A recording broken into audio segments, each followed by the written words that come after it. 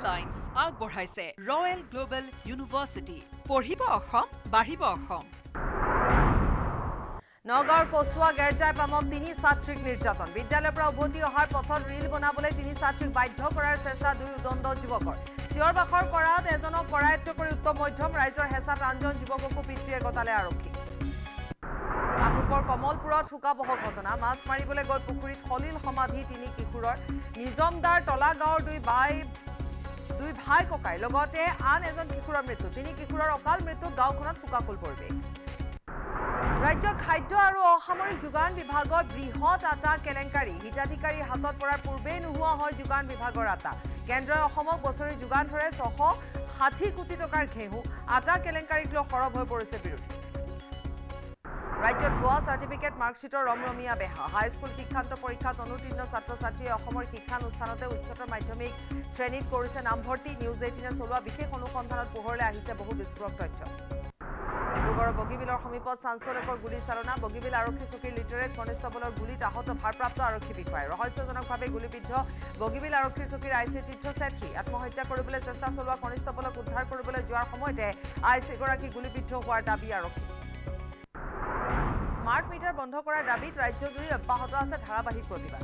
চৰকাৰে অসমৰ ঘৰে ঘৰে স্মাৰ্ট ডকাইত সংযোগ কৰাৰ অভিযোগ। শক্তি বিভাগৰ কেইবাটাও কাৰ্যালয় ঘেৰাও কৰি প্ৰতিবাদ দল সংগঠন ৰাইজৰ। স্মাৰ্ট মিটাৰক লৈ উত্তাল হৈছিল বিধানসভাৰ মজিয়াও। কাইলৈৰ পৰা ৰাজ্যত কমিব সুৰাৰ দাম। চৰকাৰৰ হস্তক্ষেপত দাম হ্ৰাস পাব সুৰাৰ। তাৰ বিপৰীতে কাইলৈৰ পৰাই গুৱাহাটীত বৃদ্ধি হ'ব গাখীৰৰ মূল্য। প্ৰতি লিটাৰ গাখীৰত তিনি টকাকৈ বঢ়াইছে গুৱাহাটী গোপালক সন্থাই অসমীয়াৰ বিৰুদ্ধে মিয়া গীত পৰিৱেশন কৰি গ্ৰেপ্তাৰ হ'ল ইউটিউবাৰ আলতাফ হুছেইন। গৌৰীপুৰৰ বটেৰতল অঞ্চলত আত্মগোপন কৰি থকা অৱস্থাত আৰক্ষীয়ে গ্ৰেপ্তাৰ কৰিলে গায়কজনক। ৰাজ্যজুৰি প্ৰতিক্ৰিয়াৰ সৃষ্টি হোৱাৰ পিছতে আত্মগোপন কৰিছিল আলতাফে।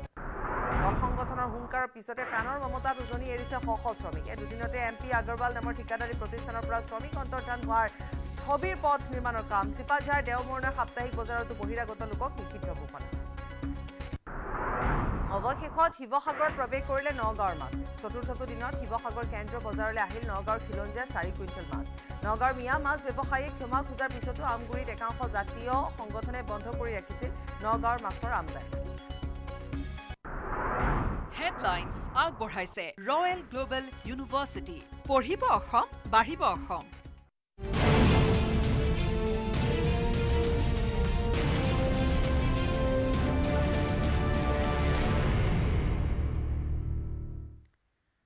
নমস্কাৰ ফাইনেল ৰিপৰ্টৰ সৈতে ষ্টুডিঅ'ত মই পাপৰি গাখীৰৰ মূল্য বৃদ্ধি পাব।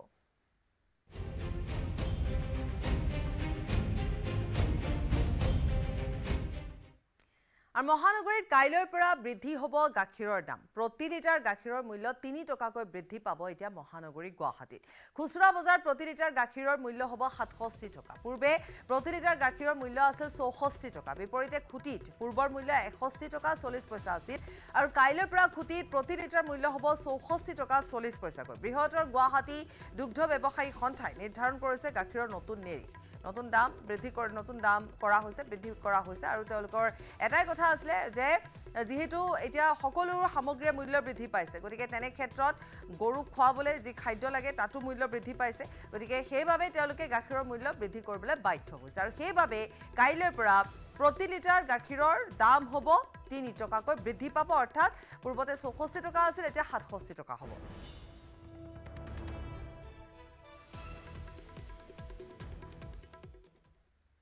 আৰু ইফালে ৰাজ্যত হ্ৰাস পাব বিলাতী সুৰাৰ মূল্য।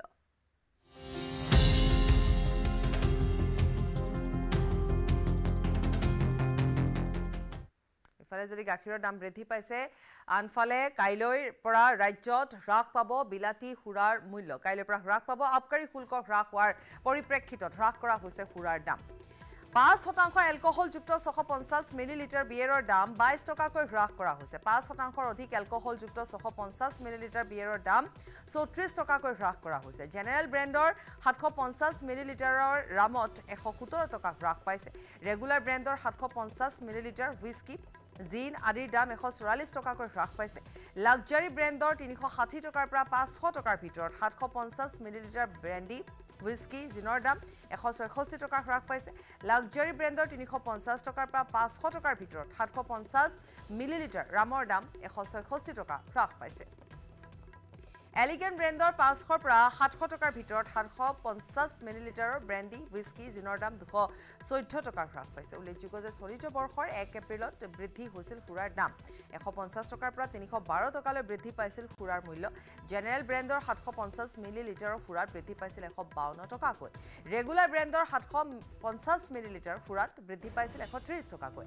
লাক্সাৰী ব্ৰেণ্ডৰ সাতশ পঞ্চাছ মিলিলিটাৰ সুৰাত বৃদ্ধি পাইছিল এশ পঁসত্তৰ টকাকৈ। আনহাতে এলিগেণ্ট ব্ৰেণ্ডৰ সাতশ পঞ্চাছ মিলিলিটাৰ সুৰাত বৃদ্ধি পাইছিল দুশ পঁচিছ টকাকৈ। প্ৰিমিয়াম ব্ৰেণ্ডৰ সাতশ পঞ্চাছ মিলিলিটাৰ সুৰাত তিনিশ বাৰ টকাকৈ বৃদ্ধি পাইছিল আৰু বিয়েৰৰ দামো ষোল্ল টকাকৈ বৃদ্ধি কৰা হৈছিল। উল্লেখযোগ্য যে সুৰাৰ দাম বৃদ্ধিৰ ফলত ৰাজ্যত অভাৱনীয় হাৰত কমি গৈছিল সুৰাৰ বিক্ৰী যাৰ ফলত চৰকাৰৰ ৰাজহত ব্যাপক প্ৰভাৱ পৰিছিল। কাইলৈৰ পৰা সুৰাৰ দাম হ্ৰাস কৰাৰ ফলত বিক্ৰীৰ হাৰ অধিক হ'ব বুলি আশা কৰিছে ৰাজ্যৰ আবকাৰী বিভাগে।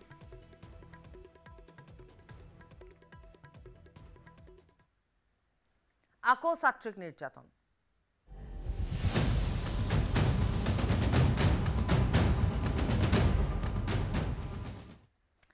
ৰাজ্যত ইটোৰ পিছত সিটোকৈ নাৰী নিৰ্যাতন যেন এক প্ৰকাৰ নিত্য নৈমিত্তিক ঘটনাত পৰিণত হৈছে দৈনিক ৰাজ্যত সংঘটিত হৈছে নাৰী নিৰ্যাতনৰ ঘটনা এইবাৰ নগাঁৱৰ কচুৱা গেৰজাই পামত তিনিগৰাকীকৈ স্কুলীয়া ছাত্ৰীক নিৰ্যাতন চলোৱা হয় ৰাজপথতে তেওঁলোকক জোৰ কৰা হয় ৰীল বনাবৰ বাবে দুগৰাকী যুৱকে নিৰ্যাতন চলায় তেওঁলোকে সেই সময়ছোৱাতে চিঞৰ বাখৰ কৰে।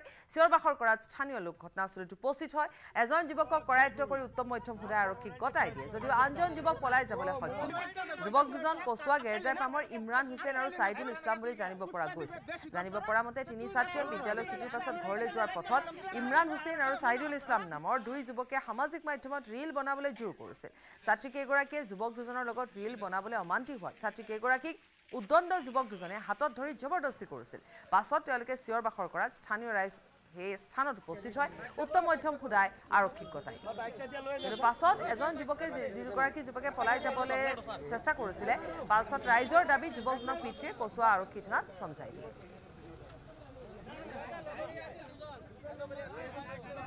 এতিয়া স্কুলটো আজি হাফ ছুটি হৈছে। বেছিভাগ ছাত্ৰ ছাত্ৰী আহি গ'ল তে সিহঁত তিনি চাৰিজন ৰৈ গ'ল। তে সিহঁত তিনিজন মানে লাষ্টত আহি আছে। যেতিয়া আহি আছে তাৰপিছত মানে ইয়াত কালভাৰ্ট এখন দলং আছে। দলঙৰ ওচৰত সিহঁত দুজন ল'ৰা ৰখি আছে। তেতিয়া ছোৱালীকেইজন মানে আহি আছে অহাৰ সময়ত মানে এই ল'ৰা দুজন সিহঁত ৰখাই আছে। ৰখাই কৈ আছে যে তোমালোকে আমাৰ লগত ভিডিঅ' বনাব লাগিব। যে আমাৰ লগত ভিডিঅ' বনা আমি লাইক পাম ভিউজ পাম বহুত ভাল হ'ব। তে সিহঁতে মানে নবনাও। নবনাও কৈছে পিছত মানে সিহঁতৰ হাতত ধৰি টানিছে। যে তই তাৰ লগত ভিডিঅ' বনাবই লাগিব এনেকা তেনেকা। পিছত ছোৱালীকেইটা মানে দৌৰি আহি গ'ল। পিছত বোলে মানে সিহঁত ল'ৰাকেইটা মানে ছোৱালীকেইজনীক মানে বেয়া বেয়া বহুত কথা মুখত যি যি আহিছে মানে মই এইবিলাক প্ৰকাশ কৰিব নোৱাৰোঁ এতিয়া। মানে বেয়া বেয়া কথাৰো বেয়া বেয়া ইংগিত দিছে। ইংগিত দিয়াৰ পিছত মানে পিছত মানে ছোৱালীকেইজন আহিছে পিছত মানে তাত দুজন ল'ৰা আছিল সেই ল'ৰা দুজনে সিহঁতক ধৰিলে। ধৰাৰ সময়ত মানে আমিও সেই তেতিয়া মানে আমিও তাত উপস্থিত। ধৰা হ'ল ধৰাৰ পিছত লাহে লাহে চব কৰা হ'ল। আন এটা ব্ৰেকিং পুনৰ নিৰ্ধাৰণ কৰা হৈছে হাৰিয়ানা বিধানসভা নিৰ্বাচনৰ দিন। পাঁচ অক্টোবৰলৈকে পুনৰ নিৰ্ধাৰণ নিৰ্বাচনৰ দিন। বিষ্ণুই সম্প্ৰদায়ৰ এক উৎসৱ উপলক্ষে এই পদক্ষেপ গ্ৰহণ কৰা হৈছে। পূৰ্বে এক অক্টোবৰত ধাৰ্য কৰা হৈছিলে নিৰ্বাচনৰ দিন। পুনৰ নিৰ্ধাৰণ কৰা হৈছে ভোট গণনাৰ দিনো। আঠ অক্টোবৰলৈ পিছুৱাই দিয়া হৈছে ভোট গণনাৰ দিন। আঠ অক্টোবৰত হ'ব হাৰিয়ানা আৰু জম্মু কাশ্মীৰৰ ভোট গণনা। পূৰ্বে চাৰি অক্টোবৰত ধাৰ্য কৰা হৈছিলে ভোট গণনাৰ দিন। সংবাদমেলযোগে এই বিষয়ে উল্লেখ কৰিছে নিৰ্বাচন আয়োগে।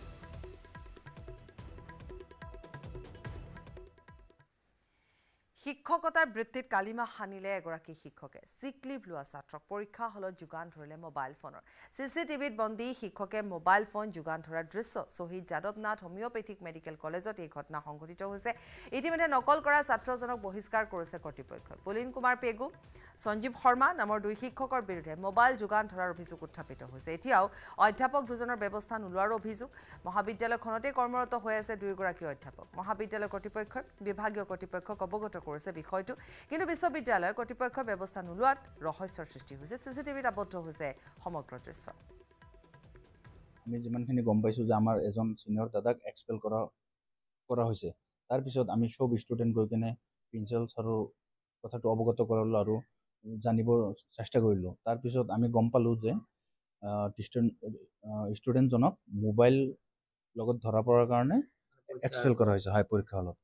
বাতৰি সংবাদ মাধ্যমত দেখা মতে আমি গম পালোঁ যে তাত এক্সামিনেশ্যন ইনচাৰ্জ আৰু এডিশ্যনেল এক্সামিনেশ্যন ইনচাৰ্জে নিজে মোবাইল দিয়াত তাত জড়িত হৈ আছে। প্ৰিন্সিপাল ছাৰে ইতিমধ্যে ঊৰ্ধ্বতম কৰ্তৃপক্ষলৈ আমাৰ ইউনিভাৰ্চিটিলৈকে আইচ ডিৰেক্টৰ মেমলৈকে আৰু এম এ আৰ ডিলৈকেও প্ৰিন্সিপাল ছাৰে ইতিমধ্যে সমস্তখিনি ঘটনা তদন্তৰ কাৰণে প্ৰিন্সিপাল ছাৰে জনাইছে। ৰাজ্যৰ খাদ্য আৰু অসামৰিক যোগান বিভাগত এইবাৰ সংঘটিত হৈছে আটা কেলেংকাৰী। হিতাধিকাৰীৰ হাতত নপৰে কেন্দ্ৰীয় চৰকাৰে যোগান ধৰা আটা। কিন্তু ক'ত অন্তৰ্ধান হয় কেন্দ্ৰৰ পৰা আবণ্টিত হোৱা আটা? চাওঁ আহক আমাৰ এই প্ৰতিবেদনত।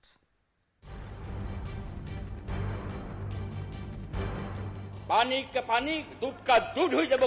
কোনে লক্ষ কোটি টকা মাৰি আছে ওলাই পৰিব। যোগান মন্ত্ৰী ৰঞ্জিত দাসৰ বিভাগত মাহিলী কোটি কোটি টকাৰ লুণ্ঠন। হিতাধিকাৰীৰ নামত আবণ্টিত খাদ্য আত্মসাত যোগান বিভাগৰ। শেহতীয়াকৈ অসম বিধানসভাত পোহৰলৈ আহিছিল এই চাঞ্চলকৰ তথ্য। যে ইয়াতে এটা এনেকুৱা নেক্সাছ আছে যিটো নেক্সাছৰ ফলত উপভোক্তালৈকে আটাটো নাযায়। তথ্য উদঘাটনৰ পিছতেই ৰাজনৈতিক মহলত বিৰোধীৰ তীব্ৰ প্ৰতিক্ৰিয়া। মইতো ভাবোঁ এইটো চি বি আই ইনকুৱাৰী হ'ব লাগে। মন্ত্ৰী ৰঞ্জিত দাসৰ বিভাগত দুখীয়া দৰিদ্ৰ খাদ্য যোগানৰ নামত কেন্দ্ৰৰ পৰা ৰাজ্যলৈ প্ৰতি মাহে আবণ্টন হয় পাঁচ হাজাৰ পাঁচশ ষোল্ল মেট্ৰিক টন আটা। পাঁচ হাজাৰ পাঁচশ ষোল্ল মেট্ৰিক টন আটাৰ মূল্য প্ৰায় পঁচপন্ন কোটি টকা। বছৰি কেন্দ্ৰই অসমক যোগান ধৰে ছশ ষাঠি কোটি টকাৰ আটা। পিছে কেন্দ্ৰই যোগান ধৰা আটা হাতত নপৰে হিতাধিকাৰীৰ। দুখীয়া দৰিদ্ৰৰ নামত আবণ্টিত আটা সৰলুকি কৰে যোগান বিভাগে। দহ টকাৰ পাবলগীয়া আটা নাপায় দুখীয়া দৰিদ্ৰই। আৰু এই আত্মসাতটো আজি এক বছৰৰ নহয়। আজি দীৰ্ঘ বছৰ ধৰি এই গেহু আত্মসাত কৰা হৈছে। বছৰৰ পাছত বছৰ খাদ্য আৰু অসামৰিক যোগান বিভাগত চলি আহিছে এই অনিয়ম বিভাগীয় কাম কাজৰ এনে নমুনাক লৈ শেহতীয়াকৈ বিধানসভাত উত্তাল হৈছিল সদনৰ মজিয়া চি বি আই সদন কমিটিৰ তদন্ত বিচাৰিছিল বিৰোধীয়ে। মন্ত্ৰী ৰঞ্জিত দাসৰ কোটিটকীয়া দুৰ্নীতিৰ বিৰুদ্ধে সৰব কংগ্ৰেছৰ বিধায়ক এ কে ৰচিদ আলম। ইমান ডাঙৰ কেলেংকাৰী আছে এই আটাত নিশ্চয় অধ্যক্ষ মহোদয় আপুনিও নিশ্চয় জানে আপুনি কোনোবা সমষ্টিৰ পৰা আহিছে। আপোনাৰ সমষ্টিটো খবৰ লওক যে নিশ্চয় উপভোক্তাই আটাটো নাপায় মাত্ৰ চাউলটো পায়। চৰকাৰক অচিৰেই শ্বেতপত্ৰ প্ৰকাশ কৰাৰ দাবী জগদীশ ভূঞাৰ। যদি চৰকাৰে শ্বেতপত্ৰ প্ৰকাশ নকৰে তেন্তে আইনী পদক্ষেপ গ্ৰহণ কৰাৰ হুংকাৰ জগদীশ ভূঞাৰ। ছাপ্লাই ডিপাৰ্টমেণ্ট এখন শ্বেতপত্ৰ অতি শীঘ্ৰে প্ৰকাশ কৰক।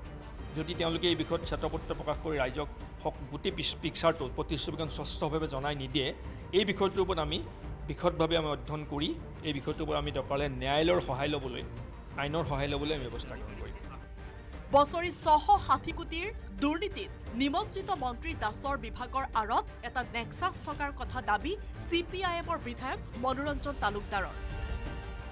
চৰকাৰে নেক্সাছৰ তদন্ত নকৰিলে দুখীয়া দৰিদ্ৰ জনতাই এনে প্ৰপঞ্চনা প্ৰতাৰণাৰ পৰা মুক্তি নাপাব বুলি মন্তব্য মনোৰঞ্জন তালুকদাৰৰ।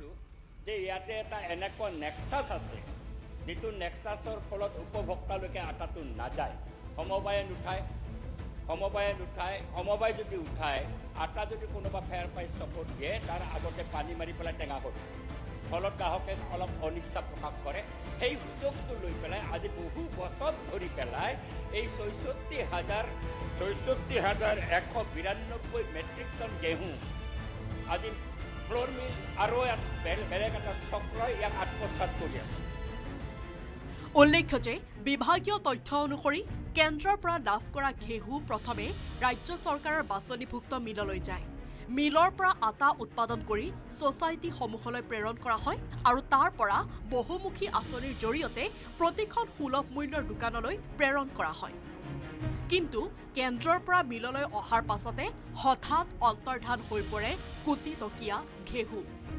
পিছে ভয়ংকৰ আটা যোগানত চলি থকা এই দুৰ্নীতিৰ এতিয়া তদন্ত ঘোষণা কৰিবলৈ সক্ষম হ'বনে ৰাজ্য চৰকাৰ?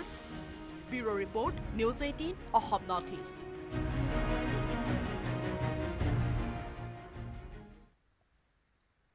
ৰঙিয়াৰ চেপ্তিত আমোদজনক ঘটনা। দিন দুপৰতে এজন প্ৰবঞ্চকে লুটি লৈ গ'ল এঘাৰ লাখ টকীয়া এখন বিলাসী মটৰচাইকেল। অ' এল এক্সত বাইকখন বিক্ৰীৰ বাবে বিজ্ঞাপন দিছিল গৰাকীয়ে তামোলপুৰৰ অৰাণ বড়ো গৰাকীগৰাকীৰ নাম। আৰু বিজ্ঞাপন দেখি গুৱাহাটীৰ লখৰাৰ এজন যুৱকে বাইক ক্ৰয় কৰিবলৈ বুলি চেফটি লৈ গ'ল। মটৰচাইকেলখন এবাৰ চলাই চাওঁ বুলি কৈ যোৱা বাটে যি গ'ল তেওঁ আৰু উভতি নাহিল। কাৱাচাকি নিঞ্জা ছুপাৰ মডেলৰ বাইকখন লৈ উধাও হ'ল গুৱাহাটীৰ বুলি পৰিচয় দিয়া যুৱকজন। সম্প্ৰতি ৰঙিয়া আৰক্ষীৰ ওচৰ চাপিছে বাইকৰ গৰাকীয়ে। মোৰ নাম শ্ৰী অৰুণ বড়ো। মানে মই অলেক্সত এটা কাৱাচাকি জি নাইন হাণ্ড্ৰেডৰ বাইক এখন এড এডভাৰটাইজ কৰিছিলোঁ। কৰোঁতে মানে এজন ব্যক্তি মোৰ মানে বাইকখন কিনিব বুলি কৈছিলে। কিনিব বুলি কওঁতে মই ৰঙিয়া চেফটিলৈকে আহিলোঁ। অহাৰ পিছত সি বাইকখন টেষ্ট ৰাইড ল'ম বুলি কৈছিলে। কওঁতে ময়ো তাৰ লগতে বেক ছাইডত বহি পিনে অলপ টেষ্ট ৰাইড কৰিলে সি কৰাৰ পিছত সি ক'লে কি বাইকৰ পিছপিনে অলপ শব্দ ওলাই আছে। তাৰপিছত মোক নামিব দিলে। নামিব দিওঁতে ময়ো নামি দিলোঁ। নামি দিওঁতে মানে আহ, পিছপিনে অলপ চাই মেলি চাই পিনে আকৌ উঠি পিনে বাইকখন লৈ পিনে গুচি গ'ল।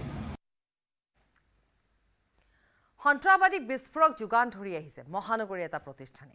এন আইৰ অভিযোগনামাত এই চাঞ্চল্যকৰ তথ্য প্ৰকাশ পাইছে। শিল খননৰ কামৰ অনুমতি লৈ মহানগৰীৰ আলবাৰিন এক্সপ্লটেক নামৰ এটা প্ৰতিষ্ঠানে উগ্ৰপন্থী সংগঠনক বিস্ফোৰক যোগান ধৰাৰ তথ্য পোহৰলৈ অহাত এতিয়া তীব্ৰ চাঞ্চল্যৰ সৃষ্টি হৈছে।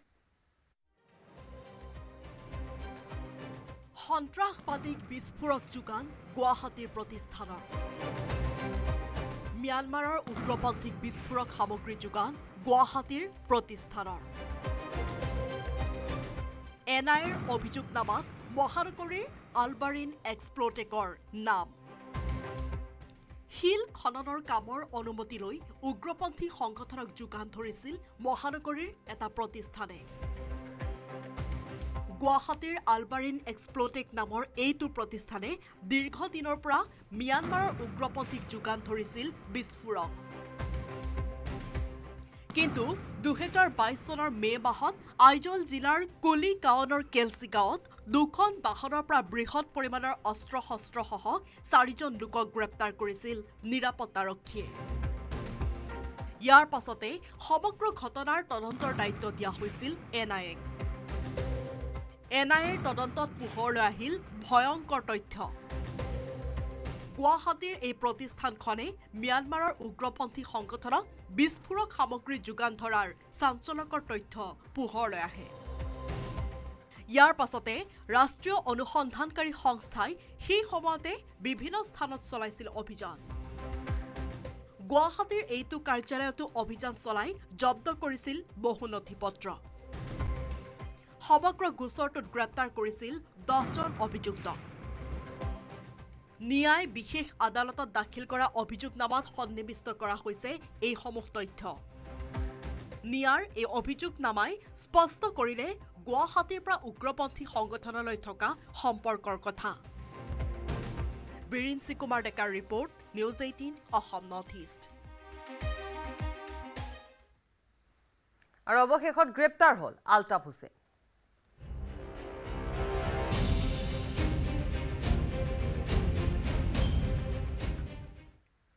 মিয়া গীত পৰিৱেশন কৰা ইউটিউবাৰ আলতাফ হুছেইনক গ্ৰেপ্তাৰ কৰিলে আৰক্ষীয়ে। অসমীয়াৰ বিৰুদ্ধে গীত পৰিৱেশন কৰিছিল আলতাফে। আৰক্ষীৰ জালত ধুবুৰী ইউটিউবাৰ আলতাফ হুছেইন। সামাজিক মাধ্যমত আপলোড কৰাৰ পিছতে বিতৰ্কৰ সৃষ্টি হৈছিল। গৌৰীপুৰৰ বটেৰতল অঞ্চলত আত্মগোপন কৰি আছিল আলতাফে। গৌৰীপুৰ আৰক্ষীয়ে বটেৰতলৰ পৰা গ্ৰেপ্তাৰ কৰিছে বিতৰ্কিত গায়কগৰাকীক।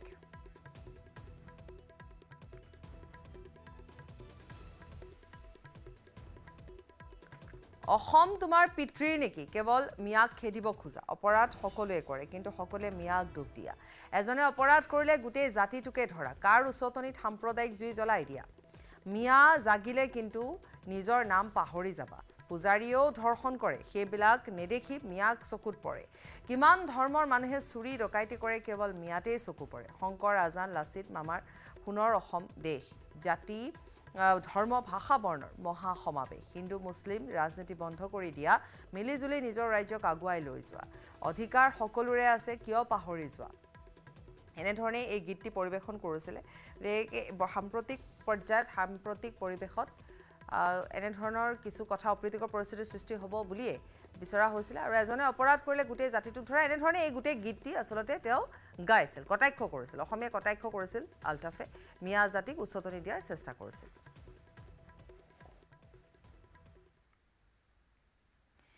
কামৰূপৰ কমলপুৰত শোকাবহ ঘটনা। জে চি বিৰে খন্দা পুখুৰীত পৰি মৃত্যু হৈছে তিনি কিশোৰৰ। নিজমদাৰ তলা গাঁৱৰ লক্ষ্যধৰ ডেকা নামৰ গাঁওবুঢ়াৰ দুই পুত্ৰ ন বছৰীয়া ৰাজীৱ ডেকা আৰু ষোল্ল বছৰীয়া হিমাংশু ডেকাৰ মৃত্যু। একে গাঁৱৰে তৰণী বৈশ্যৰ বাৰ বছৰীয়া পুত্ৰ অংকুৰ বৈশ্যৰ মৃত্যু হয়। পুখুৰীত মাছ ধৰিবলৈ যোৱাৰ সময়তে সলিল সমাধি ঘটে তিনি কিশোৰৰ।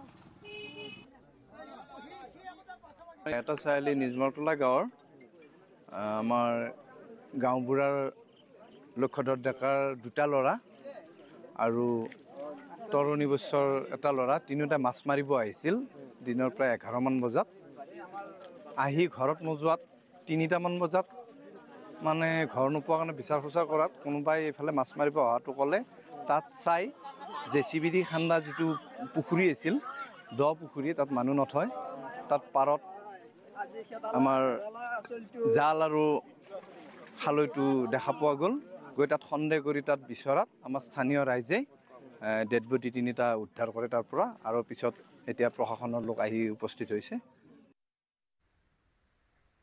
গুৱাহাটী মহানগৰীত পোহৰলৈ আহিছে চাইবাৰ অপৰাধী চক্ৰৰ ন ন কাহিনী। ভেটাপাৰাৰ এটা বিলাসী ফ্লেটৰ পৰা নিয়ন্ত্ৰণ হৈছিল চাইবাৰ অপৰাধীৰ কাৰ্যকলাপ। ভাড়ালৈ লোৱা অত্যাধুনিক বিলাসী ফ্লেটটোৰ পৰা সমগ্ৰ ৰাজ্যত পেলাইছিল প্ৰবঞ্চনাৰ জাল।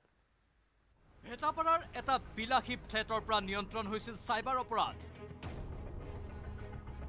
ফ্লেটত উদ্ধাৰ কেইবাশ চিম কাৰ্ড বিদেশী মুদ্ৰা নথি পত্ৰ পলাতক দুই যুৱকৰ সন্ধানত নামিছে ক্ৰাইম ব্ৰাঞ্চ।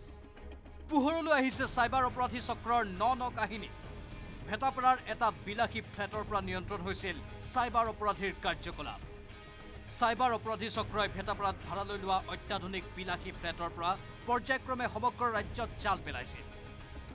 মাহিলী আশী হাজাৰ টকা ভাড়া আছিল চাইবাৰ চক্ৰই ব্যৱহাৰ কৰা ফ্লেটটোৰ।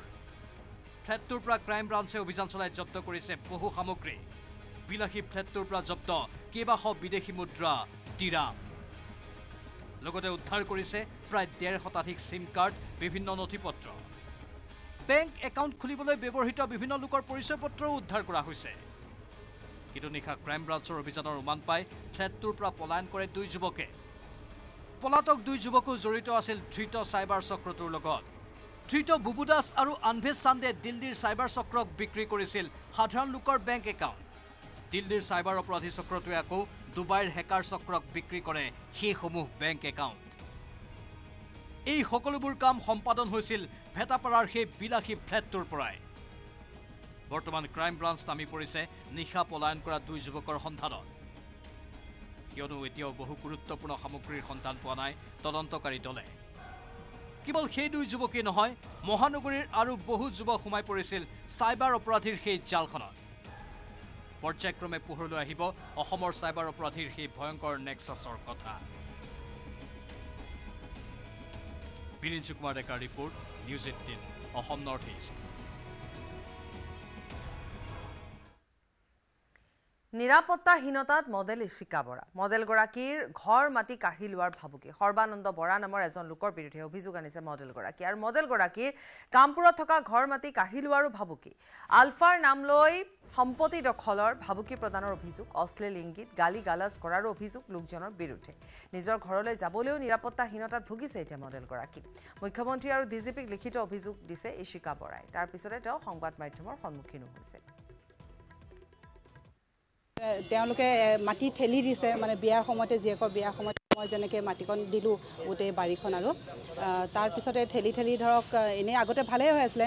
মই যেতিয়া ডিমাৰ্কেশ্যনৰ কাৰণে দিলোঁ তেতিয়াই তেওঁলোকে মানে সীমাৰ যিখিনি মানুহ বিপুল শইকীয়া আৰু পুষ্পেন্দ্ৰ নাথ সৰ্বানন্দ বৰাই তেওঁলোকে মোক ধমকি দিলে মোক ঘৰত জুই জ্বলাই দিব মোক মাৰিব বুলি। পিছত যেতিয়া সোধ পোছ কৰিলোঁ তেতিয়া গম পাইছোঁ তেওঁ আলফা মানুহ বুলি মোক কৈছে আৰু। এইটো এটা ধমকি দিছে কাৰণ মই অকলশৰীয়া থাকোঁ যেতিয়া মানে তই কিবা এটা কৰিলে তোক মাৰিম আৰু এনেকুৱা টাইপৰ যোৱা বছৰ তেওঁলোকে ভাবিকো দিছিলে যেতিয়া মই ডিমাৰ্কেশ্যনৰ কাৰণে যেতিয়া মই দিছিলোঁ ডি চি ছাৰক যেতিয়া মই এপ্লিকেশ্যন দিছিলোঁ তেওঁলোকে ডিমাৰ্কেশ্যনৰ কাৰণে আহিলেও কিন্তু সেই সময়ত তেওঁলোকে মানে ইমান হুলস্থুল কৰিলে তেওঁলোকক মানে সেইটো কৰিবলৈ নিদিলে আৰু আৰু নিদিয়া দিছত মানে তেওঁলোকে মানে মোক ঘৰ জ্বলাই দিব মোক মাৰি পেলাব মানে এনেকুৱা টাইপৰ মানে মোক মাৰিবলৈ ধমকি দিছে মানে।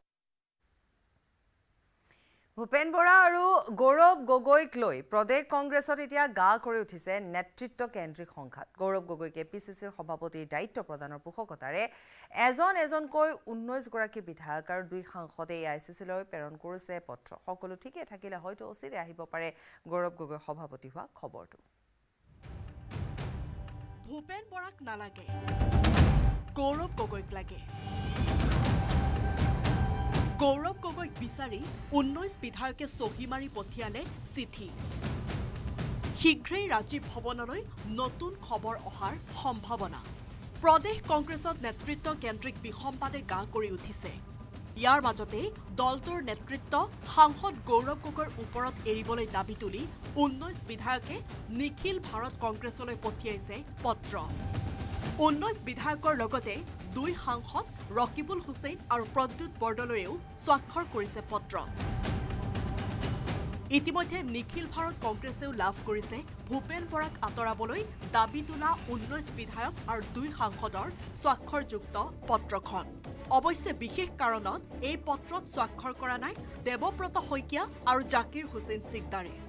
নিজে স্বাক্ষৰ কৰিছে যদিও ভূপেন বৰা হটাও সম্পৰ্কত অজ্ঞতা প্ৰকাশ কৰিছে বিধায়ক ভৰত চন্দ্ৰ নৰহে।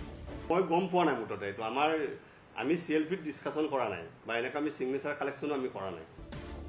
ইফালে ইয়াৰ পূৰ্বেই ভূপেন বৰাই গৌৰৱ গগৈক নেতৃত্ব দিলেও আক্ষেপ নাই।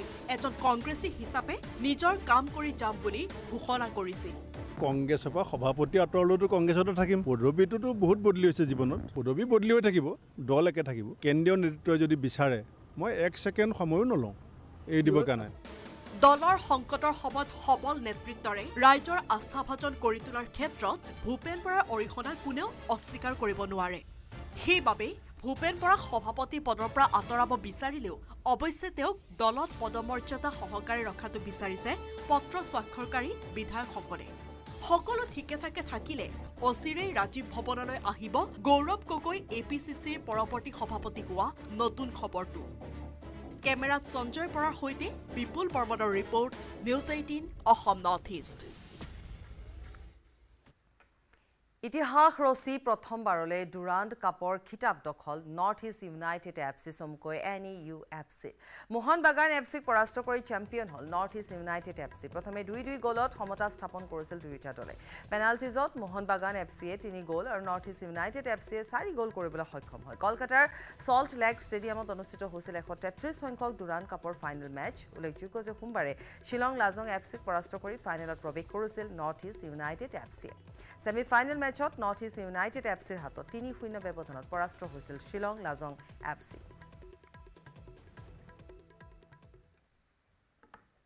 প্ৰবঞ্চক পুতুলি ডেকাক জিম্মাত ল'ব হাতীগাঁও থানাই ক্ৰাইম ব্ৰাঞ্চৰ পৰা হাতীগাঁও আৰক্ষীয়ে জিম্মাত ল'ব। হাতীগাঁও থানাতো পুতলিৰ বিৰুদ্ধে ৰুজু হৈছে প্ৰবঞ্চনাৰ গোচৰ।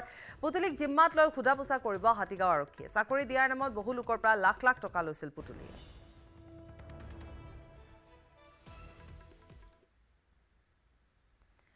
স্মাৰ্ট মিটাৰৰ বিৰুদ্ধে ৰাজ্যত অব্যাহত আছে ধাৰাবাহিক প্ৰতিবাদ। আছু কংগ্ৰেছৰ প্ৰতিবাদৰ পাছত এইবাৰ পুনৰ ৰাজ্য উত্তাল কৰিলে সাধাৰণ ৰাইজে। স্মাৰ্ট মিটাৰ খুলি লৈ যোৱাৰ দাবীৰে চন্দ্ৰপুৰ নুমলীগড় মৰাণৰ লগতে প্ৰান্তে প্ৰান্তে এতিয়া সাব্যস্ত কৰা হৈছে প্ৰতিবাদ। সমান্তৰালভাৱে স্মাৰ্ট মিটাৰক লৈ অন্তিম দিনা উত্তাল হ'ল সদন।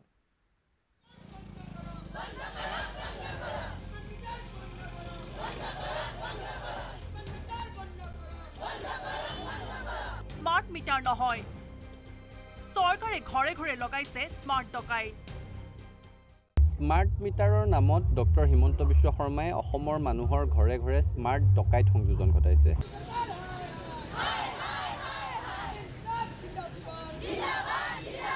স্মাৰ্ট মিটাৰক লৈ দল সংগঠনৰ লগতে স্থানীয় ৰাইজে অব্যাহত ৰাখিছে প্ৰতিবাদ। স্মাৰ্ট মিটাৰ খুলি নিয়াৰ দাবীত শনিবাৰে স্থানীয় লোকে উত্তাল কৰি তোলে মহানগৰীৰ চন্দ্ৰপুৰৰ পৰিৱেশ। চন্দ্ৰপুৰতো চন্দ্ৰপুৰৰ ৰাইজে স্বতঃস্ফূৰ্তভাৱে এই স্মাৰ্ট মিটাৰৰ বিৰুদ্ধে প্ৰতিবাদ সাব্যস্ত কৰিছে। আৰু আমি এই প্ৰতিবাদস্থলীৰ পৰা অসম চৰকাৰৰ শক্তি বিভাগক আমি স্পষ্টভাৱে ক'ব বিচাৰোঁ যে অতি শীঘ্ৰে এই যি স্মাৰ্ট মিটাৰৰ দ্বাৰা ডকাইতি লাইনৰ বিলৰ ওপৰত যি ডকাইতি এই ডকাইতি বন্ধ কৰিব লাগে আৰু অতি শীঘ্ৰে ৰাইজক সকাহ প্ৰদান কৰিব লাগে। স্মাৰ্ট মিটাৰ বন্ধৰ দাবীত নুমলীগড়ৰ কমাৰগাঁও বিদ্যুৎ সংমণ্ডল কাৰ্যালয় ঘেৰাও কৰে শতাধিক কংগ্ৰেছ কৰ্মীয়ে। শীঘ্ৰে স্মাৰ্ট মিটাৰ বন্ধ নকৰিলে প্ৰতিবাদী কাৰ্যসূচী গঢ়ি তোলাৰ হুংকাৰ কংগ্ৰেছৰ। যে আজি এই বিদ্যুৎ উপসংমণ্ডলৰ কাৰ্যালয়ত আমি ধৰ্ণা কাৰ্যসূচী কৰিছোঁ আমি অফিচ ঘেৰাও কৰিছোঁ আমি আহ্বান জনাইছোঁ যে অতি সোনকালে এই বিদ্যুৎ মিটাৰ জনসাধাৰণক লুণ্ঠন ডকাইতি চলোৱা এই স্মাৰ্ট বিদ্যুৎ মিটাৰ উঠাই ল'ব লাগে। তাৰ কাৰণে আমি আজি এই প্ৰতিবাদ কৰিছোঁ। মৰাণতো স্মাৰ্ট মিটাৰ বন্ধ নকৰিলে তীব্ৰ গণতান্ত্ৰিক আন্দোলনৰ হুংকাৰ সোতৰটাকৈ জাতীয় সংগঠনৰ। প্ৰতিবাদকাৰীসকলে বিশাল সমদলেৰে আহি মৰাণ ৰাজচক্ৰ বিষয়াৰ জৰিয়তে মুখ্যমন্ত্ৰীলৈ প্ৰেৰণ কৰে স্মাৰক পত্ৰ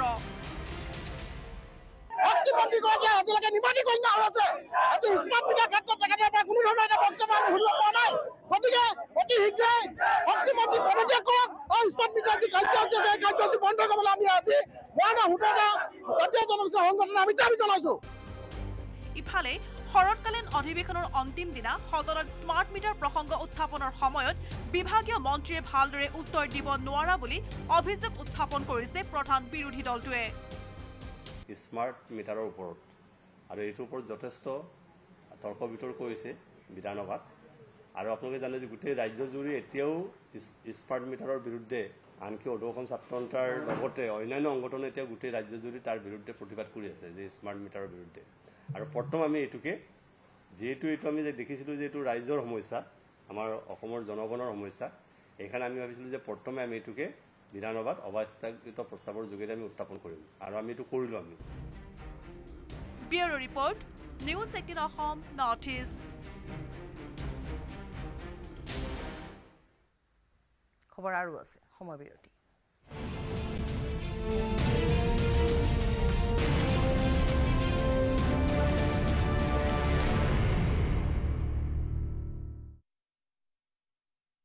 Must